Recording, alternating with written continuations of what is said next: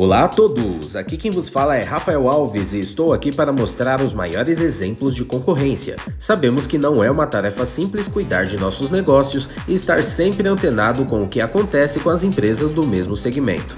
Nesta série de vídeos, vamos mostrar a importância que existe na concorrência e em como ela pode ajudar a fazer o seu empreendimento crescer constantemente. E por falar em empreendimento, confira o que a Mazuquim e sua escola de formação de gestores de tráfego oferece para sua empresa. Qual é a trilha para o sucesso? A Mazukin é uma agência de marketing que trabalha diariamente pelo sucesso da sua empresa. Somos mentes inquietas, sempre buscando os melhores resultados em gestão de tráfego pago, tráfego orgânico e criação de identidade visual. Nós acreditamos que o empreendedorismo é a chave para a transformação. É por isso que você pode contar com a Mazukin para estar sempre ao seu lado. Oferecemos produtos que dão a você e ao seu negócio toda a estrutura necessária para crescer.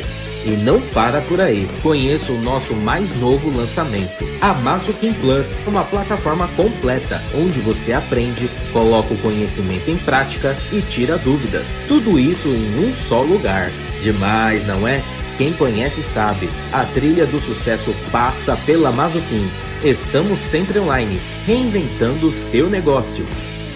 No tema de hoje, vamos falar sobre o duelo de duas das grandes empresas varejistas brasileiras que disponibilizam uma ampla gama de produtos. Falaremos hoje no duelo de gigantes sobre Casas Bahia versus Magazine Luiza. Vamos começar com a história da grande empresa Casas Bahia.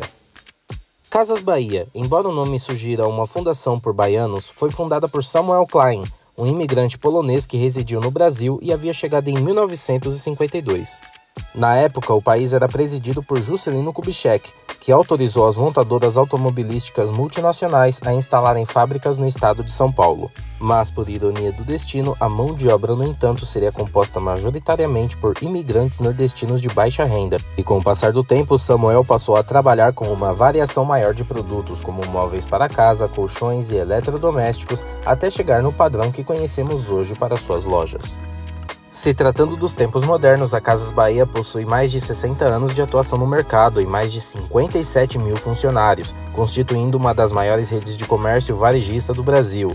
Em 2009, houve uma tentativa da Ponto Frio adquirir a Casas Bahia em uma fusão que realmente se concretizou, o que culminou na criação do grupo Via Varejo, ainda que as duas marcas coexistam independentes uma da outra.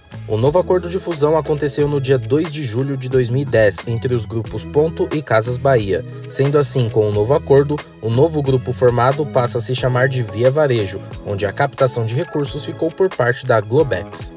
Para o novo acordo que levou cerca de quatro meses para se consolidar, foi preciso injetar cerca de 690 milhões de reais por parte do grupo do então chefe de conselho da empresa, Abílio Diniz. A família Klein possui hoje a maior parte das ações das Casas Bahia, sendo os acionistas majoritários do grupo. Agora vamos falar da Magazine Luiza ou Magalu para os íntimos. Em 1957, o casal Luiza Trajano e Pelegrino José Donato compraram a Cristaleira, uma pequena loja de presentes localizada na cidade de Franca, interior de São Paulo. O nome Magazine Luiza surgiu depois, resultado de um concurso cultural promovido por uma rádio local, fato que mostrava como a interatividade e proximidade com os clientes já eram grandes diferenciais da marca e já estavam em seu DNA desde os primeiros passos da organização. As décadas seguintes foram marcadas pela expansão do negócio para outras cidades do interior de São Paulo, como Barretos e Igarapava, além de novas unidades em Franca. No período, outros familiares entraram para o negócio, o que possibilitou ter dinheiro suficiente em caixa para todo o crescimento.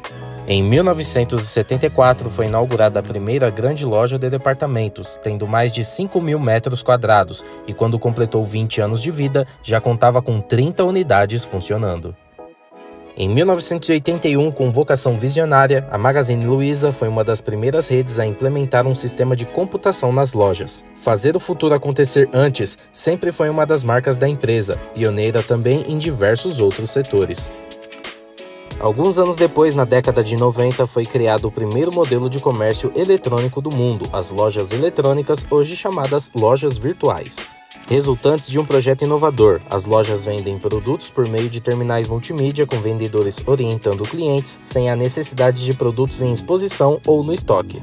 No mesmo ano, 1992, também nasce o projeto Quinzena de Móveis e Presentes, onde os clientes podem comprar produtos anunciados por um preço muito abaixo da média do mercado. Na internet, a promoção é divulgada como Só Hoje. Passaram-se as décadas e em 2014 foi criado o Luiza Labs, Centro de Inovação. No ano de 2015, já com 786 lojas, a Magazine Luiza deu início a um novo ciclo, o ciclo da transformação digital, com o lançamento de um novo aplicativo mobile e implantação do mobile vendas em 180 lojas, fazendo entregas de produtos de diversos tipos. A luta entre as duas marcas. Se tratando de faturamento, a Via 3, grupo proprietário das Casas Bahia, registrou o volume bruto de mercadorias, que em 2022 obteve o total de 10,23 bilhões de reais. A receita bruta das lojas físicas aumentaram em 3,7% nesse mesmo intervalo de tempo para 5,12 bilhões de reais. Por outro lado, a Magalu registrou receitas líquidas do conglomerado de varejo que somaram 8,8 bilhões de reais, alta de 2,2% na comparação anual. Ambas as marcas são muito fortes em questão de veiculação de comerciais. Aqui veremos exemplos bem famosos de cada uma das marcas. Quer pagar quanto? Foi com esse bordão repetido exaustivamente que o ator Fabiano Augusto fez sucesso nos comerciais da varejista no início dos anos 2000. Gerou muitas polêmicas por conta de muitos consumidores querendo pagar preços absurdamente pequenos comparado com o valor real do produto. Voltou aos comerciais em 2013 e dessa vez sem a famosa frase. Especial de Natal Magazine Luiza. Em 2021, a Magazine Luiza promoveu um comercial de Natal com uma cantora extremamente famosa, que é a Anitta, representando uma música no ritmo Jingle Bells, com uma letra que demonstra sobre a variedade de produtos que a empresa possui para proporcionar aos consumidores. A parte mais destacante é a dança entre o avatar representativo de Luísa Trajano dançando junto com a Anitta. E este foi o vídeo sobre as grandes marcas varejistas do Brasil. Se você gostou deste conteúdo, dê aquela força, deixe aquele like, se inscreva no canal e ative as notificações para estar por dentro de todas as novidades. Semana que vem apresentaremos mais um conteúdo para vocês. Até a próxima!